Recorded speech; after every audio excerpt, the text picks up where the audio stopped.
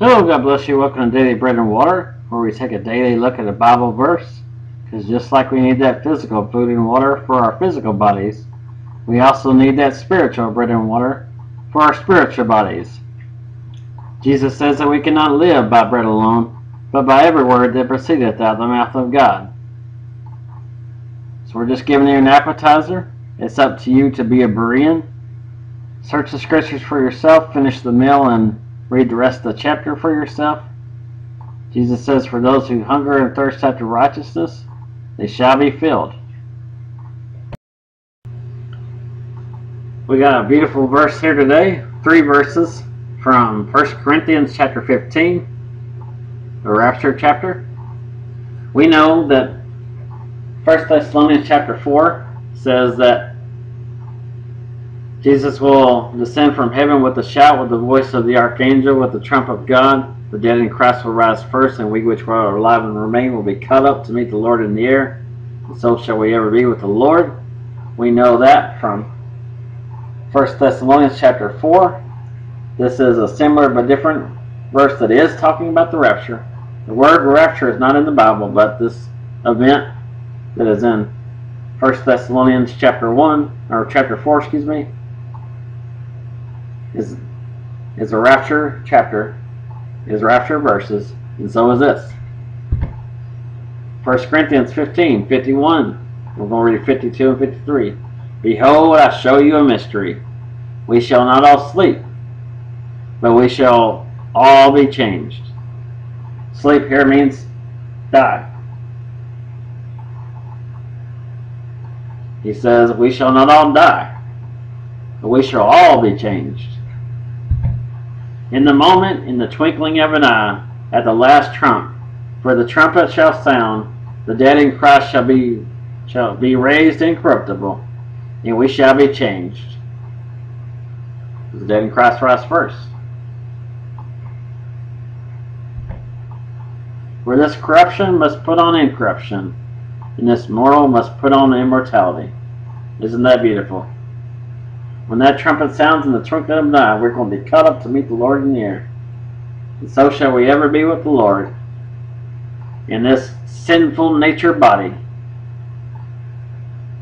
We will take it off like we put like take off clothes and we'll put on immortality, incorruptible bodies, a body that will never sin. We will be like the Lord. Isn't that beautiful?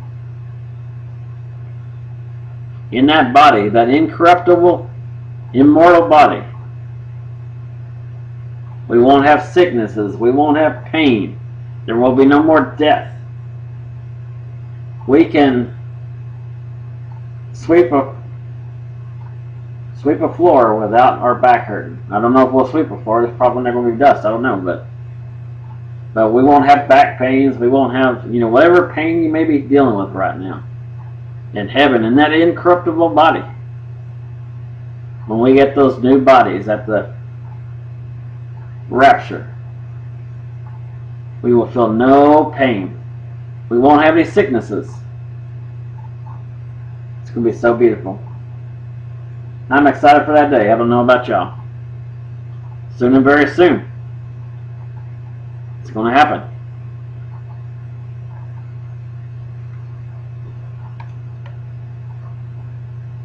So we're going to take out these bodies that are dying day by day. And we're going to put on a body that will never die. I'm looking forward to that. I don't know about y'all. Well, I pray you got something out of the video. If you did, give God glory. Remember, always read the word for yourself. Don't take my word or message for it. Be a Berean. Search the scriptures for yourself. You know, we all have this void in our life. Some call it a God-shaped hole. And we try to fill that void with everything that the world has to offer. You may try to fill that void with sex, with alcohol, with drugs, with money, with friendship, with popularity, with advancements in your career, promotions. You may try to fill it with cars, with, with houses. but nothing can fill that void.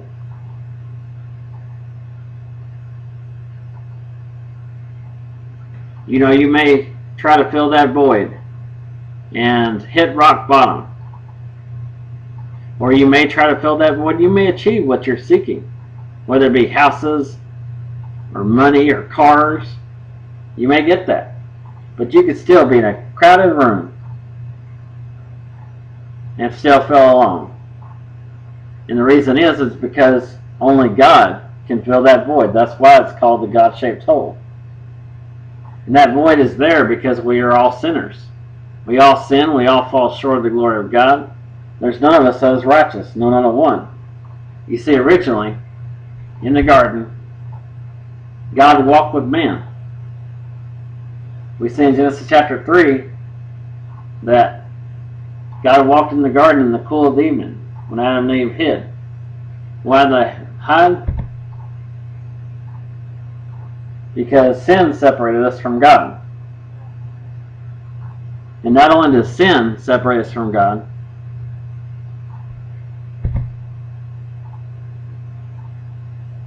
it creates a valley between God and man. And with each sin, that valley gets deeper and wider. Now, the only way to atone for that sin and for God to fill that void in your life, that God shaped hole, is by the shedding of blood. Without the shedding of blood, there is no forgiveness of sins. That's the only way that that valley can be atoned. In the Old Testament, they used to use the blood of bulls and goats, of animal sacrifices. They were a temporary bridge, like you see there, the little rope bridge. Why they're a temporary bridge is because as the person would sin again, they'd have to offer another animal.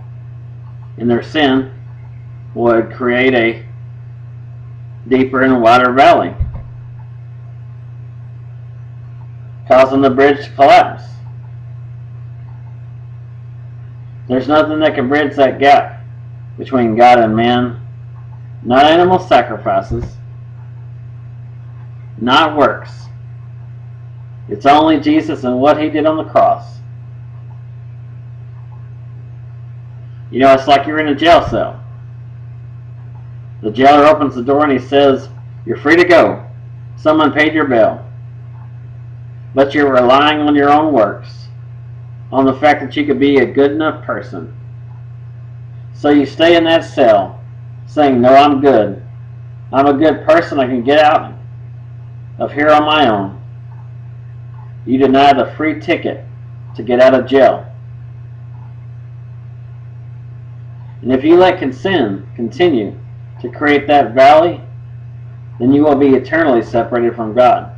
And that's what it looks like. It means hell. Because the punishment for, for our sin is death.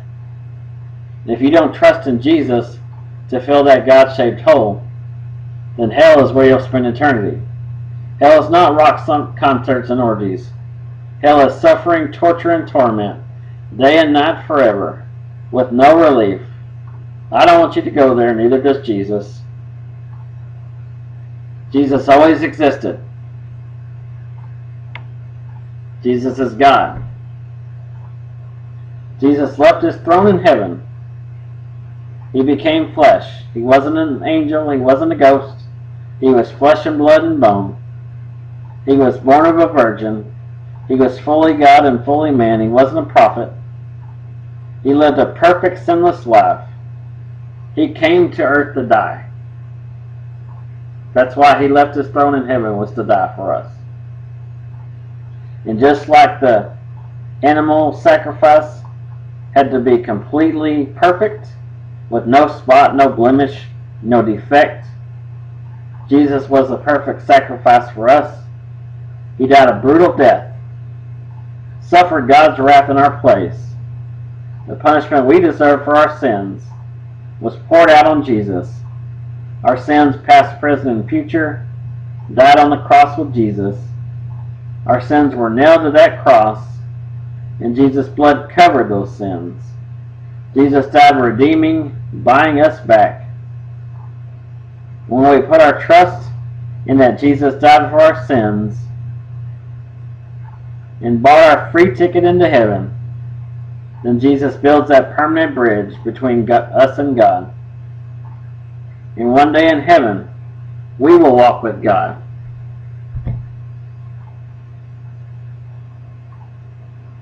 We'll see God face to face.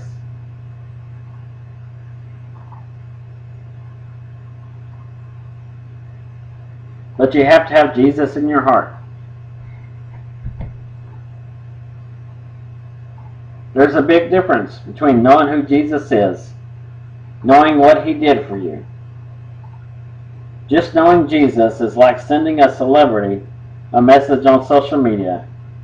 That's a big difference between sending a message on social media and actually knowing that celebrity personally. You eat together, you have meals together, you watch movies together, you children play in the yard together. Just like with a celebrity, there's a big difference between knowing who Jesus is intellectually and what he did for you and actually having Jesus in your heart. Just knowing who Jesus is and what Jesus did for you is like me giving you a bottle of water.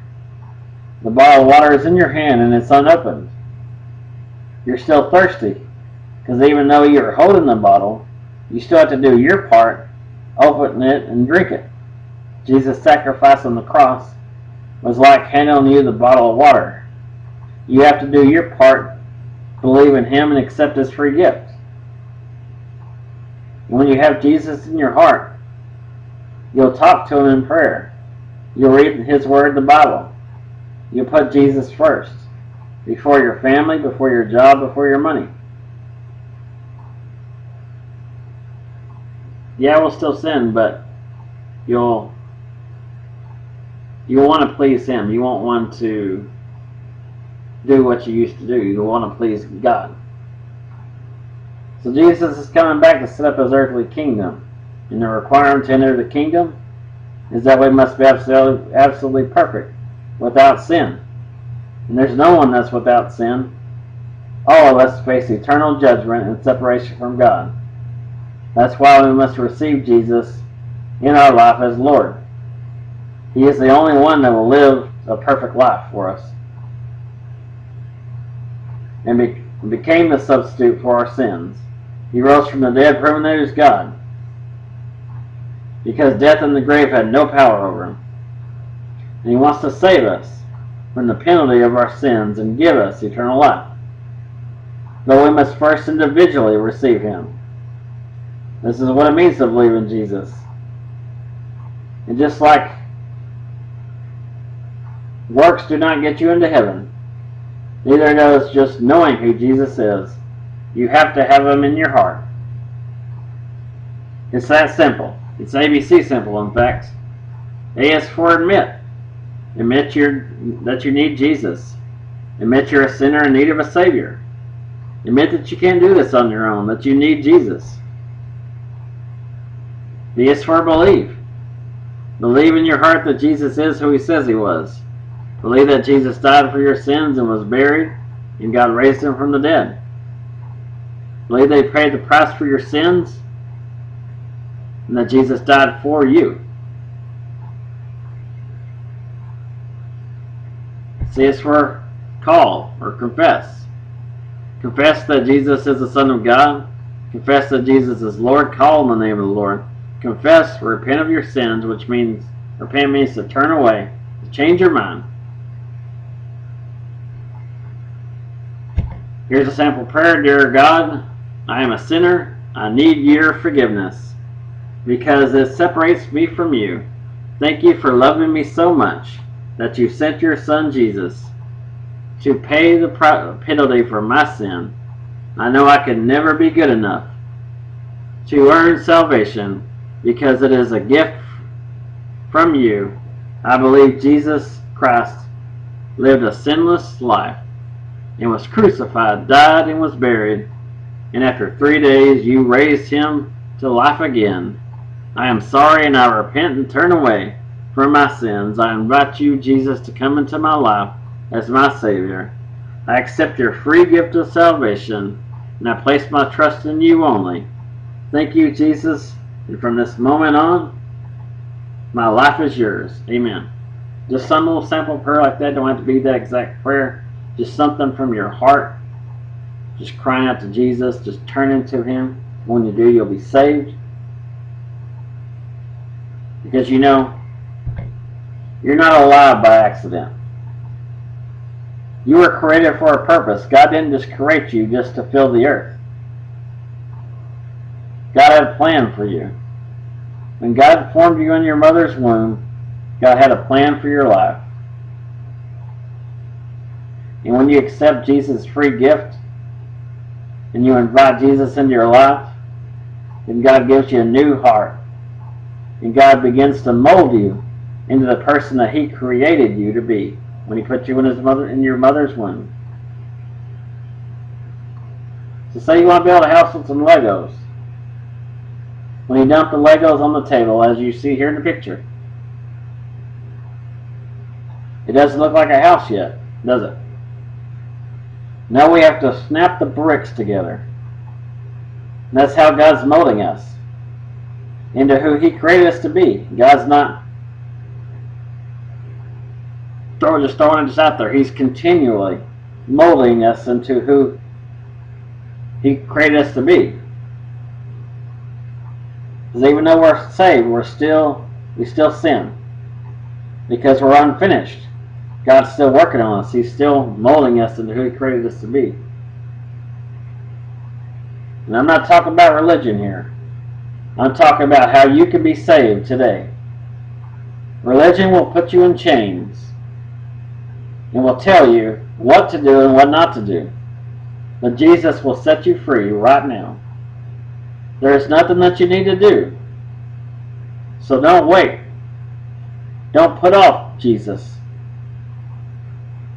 Don't put them off till you get to the point in time in your life where you are financially secure or whatever it is you may be holding on to that you want to be have this before you come to Christ. Come to him now. Or don't wait till you stop a sin like say you don't you want to wait till you stop drinking. Come to him now and he will help you take that away. Because Jesus is really coming back very soon. And you don't have time to wait. Tomorrow just might be one day too late. And you don't want to miss it because you you were going to do it tomorrow. Do it now. So turn to Jesus today. Well, I pray you got something out of this. If you did, give God glory. Can't wait to see what the Lord has for us tomorrow. Hope you have a great day. We'll see you tomorrow, God willing, or maybe we'll see you in the clouds.